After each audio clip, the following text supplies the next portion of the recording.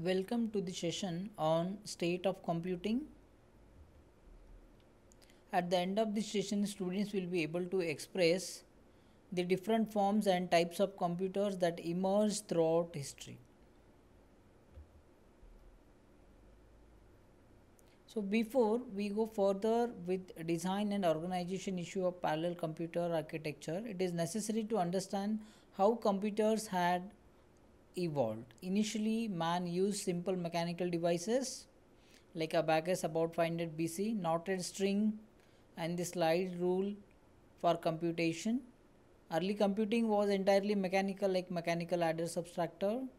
In the pas- under Pascal uh, from since 1642, different engine design Babbage like since it is from 1827.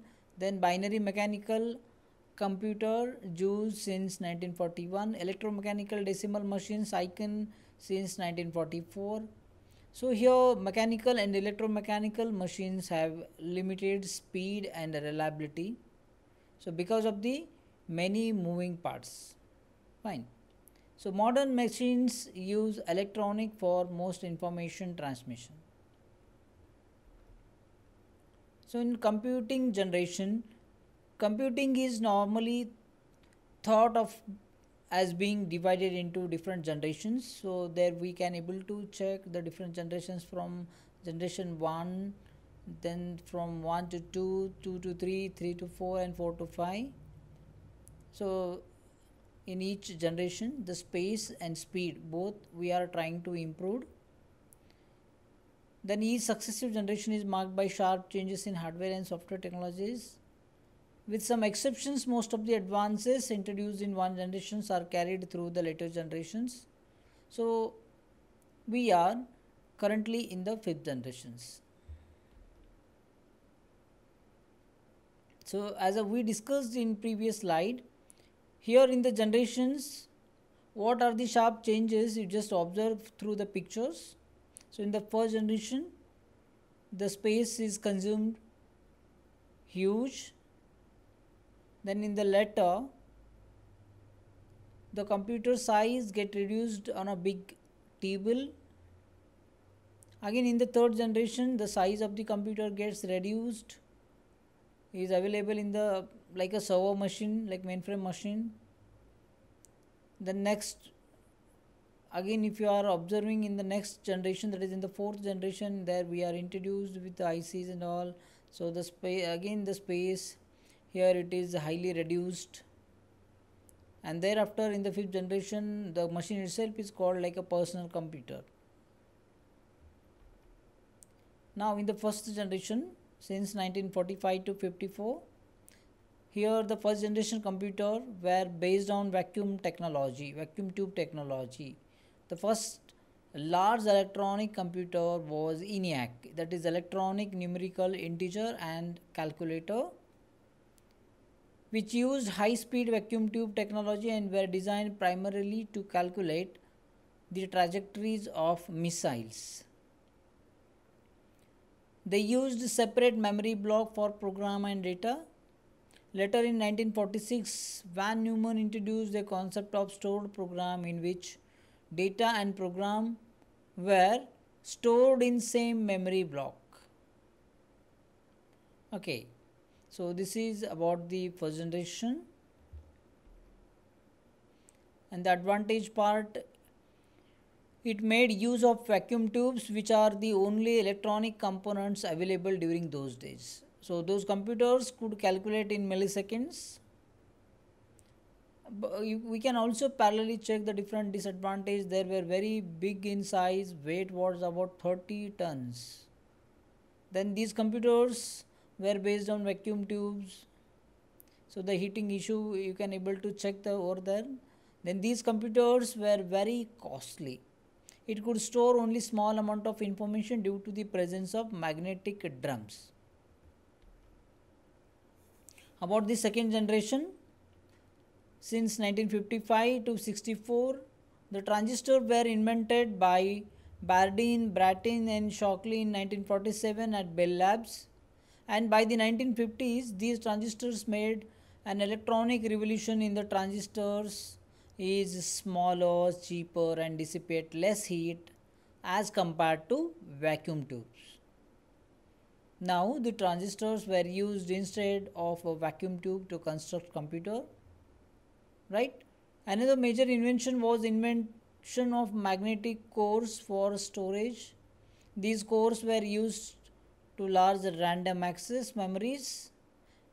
These generation computers has better processing speed and larger memory capacity and the smaller size as compared to previous generation computer. So here you can check again some advantages part. The result is the resulted is reducing the size of computer as compared to first generation less energy and not produce as much heat as the first generation. Assembly language and uh, punch cards used for input. Okay so disadvantage you can check a cooling system was required consistent maintenance was required used only for specific purpose. Got it? Now now we are here at the third generation since 1965 to 74 in 1950 to 60, the discrete components like transistors, resistors, capacitors were manufactured, packaged in a separate container. So, to design a computer, these discrete units were soldered and wired together on a circuit board. Another revolution in computer design come when 1960s the Apollo guidance computer and Minuteman missile were able to develop an integrated circuit that is called ICs. Okay, so made the circuit design more economical and practical. So the IC based computers are called third generation computers. So as integrated circuit consists of transistors, resistors, capacitors on a single chip eliminating wired connect interconnections. The space required for the component was greatly reduced. So this is about the third generation advantage these computers were cheap as compared to the second generation they, they were fast and reliable. Use of IC in the computers provides the small size of the computer. Regarding the disadvantages, IC chips are difficult to maintain. The highly sophisticated technology required for the manufacturing of IC chips. Fine. So here we have a question which generation of computer started with using vacuum tubes of the basic components. So here you need to mention which generation of computers. So you have your answer. Your answer is a. That is first generation computer started with using vacuum tubes as the basis basic components of memory and the circuitry for the cpu now we are here in the fourth generation since 75 to 90.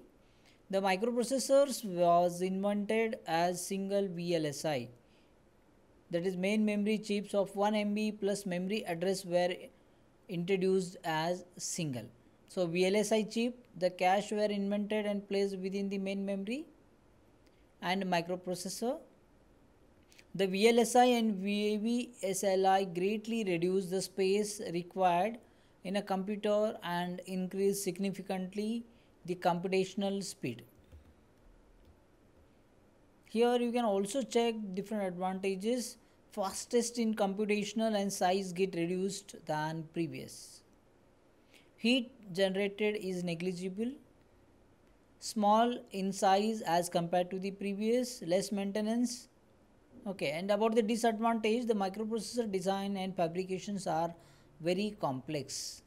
Air conditioning is required, then advances in technology is required to make the ICs. At the end, we are moving our last slide that is our the last generation, fifth generation after 1990 to till date. So, in the mid to late 1980s, in order to further improve the performance of the system the designers start using a technique known as instruction pipelining okay so the idea is to break the program into small instructions and process works on these instructions in different stages of completion.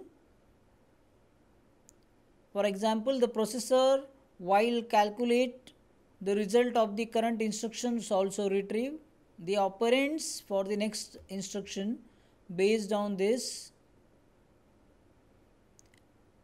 Later, superscalar processors were designed here to execute multiple instruction in parallel. We have multiple execution in it, like uh, separate arithmetic and logic units. And we are also here check different advantages. It is more reliable and works faster. It is available in different sizes and unique features. They need some disadvantages is also there. They need very low level languages and they may make the human brains dull and doomed.